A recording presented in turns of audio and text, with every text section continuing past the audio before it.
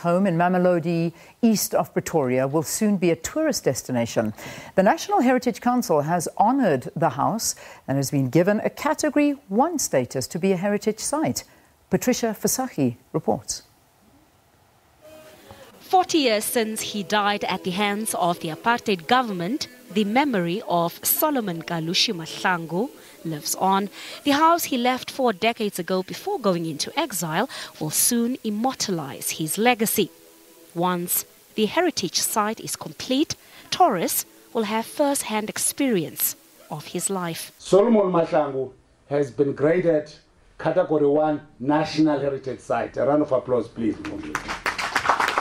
The National Youth Development Agency says this will help strengthen South Africa's liberation struggle history. We are very happy. We are excited. It's a beautiful day today. And uh, uh, as the NYDA, we want to say that uh, indeed we are reaching a point where Solomon Mahlangu is actually honored in a befitting manner. The Department of Arts and Culture says public consultations will have to take place before the Solomon Mahlangu heritage site is complete. We are hoping that by end of April 2019, they will be able to present that so the department can look at that process. The Mahlangu family says the heritage site will affirm their son's contributions to freedom and democracy in the country. It, it means everything. Um, for us, uh, it's a symbol for all those uh, who fought alongside uh, Kalushi. So it is important that uh, his legacy is uh, uh, sustained.